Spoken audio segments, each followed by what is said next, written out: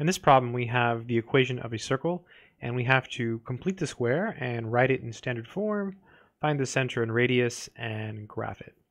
So the first step when we're completing the square is to group all of the x's together and group all of the y's together and get rid of this uh, constant.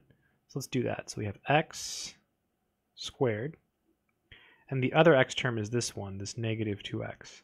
So I'll just put it there, minus 2x. Then we have the y squared. And then we have the minus, uh, 4y. And then we have this negative 20, and so we can just add it to the other side. So it's equal to 20, right? You just do plus 20, plus 20, boom, it's gone. All right, now we're going to complete the square twice. So, so we start by writing down x squared minus 2x. And now we have to add something here. So to figure out what to add, you take the number in front of the x, you divide it by 2 and square it. Negative 2 over 2 is negative 1. Negative 1 squared is 1. Boom. Let me do it on the side. You take negative 2, you divide it by 2, and you square it. So that'll be negative 1 squared.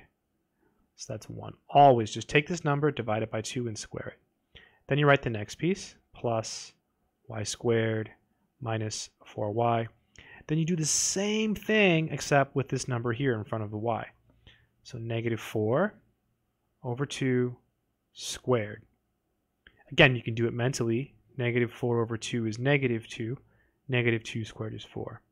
Or if you want, you can go to the side and show the work like this. Boom, 4.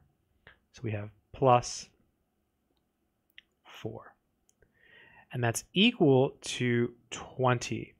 But what you add to one side, you have to add to the other. So we added a 1 and a 4, so we have to add a 1 and a 4. Okay, recap, just go over it one more time.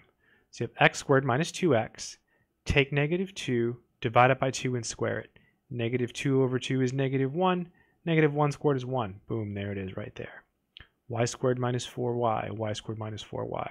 Take the negative 4, divide it by 2, and square it. Negative 4 over 2 is negative 2.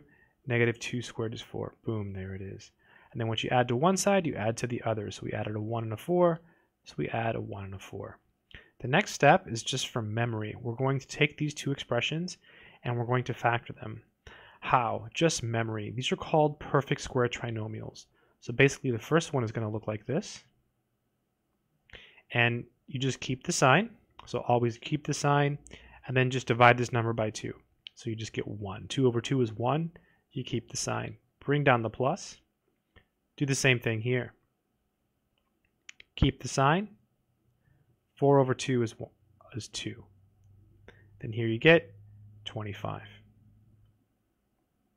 So again, here you just divide it by 2. So you get 1, keep the sign. Here you just divide it by 2. So you get 2, keep the sign. This is called the standard form of a circle. To find the center, of this circle, all you have to do is switch the signs. So it's negative, so it becomes positive. It's negative, so it becomes positive. Just switch it, switch it. Switch the signs. And the radius, all you do is take the square root of this number here. So the square root of 25 is equal to 5. Boom. All right. So now we have our center and our radius, and so now we can do a rough sketch of the circle. So I'll do it by, by hand. So here's the y-axis, and here's the x-axis. And so you start from the center. So the center is 1, 2. So that means from the origin, you go um, right 1 and up 2. So 1, 1, 2, and you put a dot. And that's where we start counting from. So the radius is 5. So that means from the center, you just go up and down, left and right by 5. So I'm going to go up 5. 1, 2, 3, 4, 5. Boom. I'm going to go right 5. One, two, three, four, five. Boom. I'll go left five. One, two, three, four, five. Boom. down five. One, two, three, four, five. Boom. Just go up, down, left, and right by five, and then you just connect the dots and try to make a circular object. If you're doing this by hand, if you're doing this like for like online homework, um, which you might be, you just use the graphing tools that they give you. So that's it. There's our pretty good circle. I hope this video has been helpful.